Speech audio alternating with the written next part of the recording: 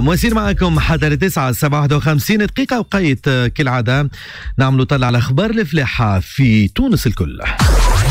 Mag Agriculture نبداوها ببلاغ اللي هبطته وزارة الفلاحة حسب توقعات المعهد الوطني للرصد الجوي اليوم باللي تفيد بأنه كميات كبيرة من الأمطار اللي باش تتهاطل آه، خاصة في ولاية قفصه سيدي بوزيد القروان سليانة زغوان ومحالين جهة الساحل مع تساقط البرد بأماكن محدودة. توصي وزارة الفلاحة والموارد المائية والصيد البحري.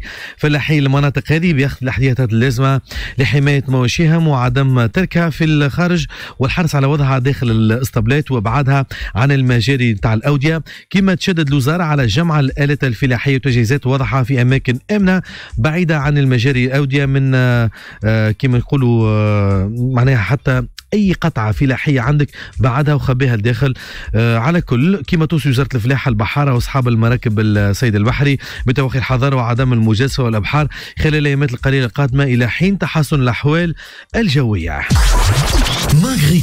نكملوا مع أخبار الفلاحة اليوم العالمي للتغذية. في 16 أكتوبر 2018 بالمناسبه هذه. شوفوا انه وزارة الفلاحة البارح اللي آه، ومنظمة الأغذية والزراعه للأمم المتحدة فاو اللي عملوا اتفاقيه تعاون فني لإعداد دراسات تسمح بتحيين وتطوير خدمات الخارطه الفلاحية التونسية.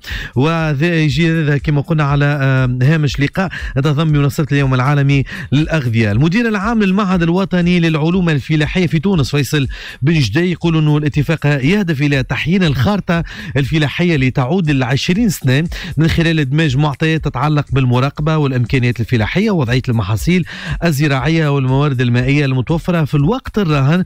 ويقول زاد انه الاتفاق هذا يهدف إلى اعتماد نموذج لتصور المعطيات بما يمكن من استعمال الخارطة الفلاحية كأداة تساعد على اتخاذ القرار في خيارة التنمية الفلاحية. وهكذا تكون عندنا واضحة الرؤية للخارطة الفلاحية في تونس. إيش عندنا من غلة؟ إيش عندنا من خضرة؟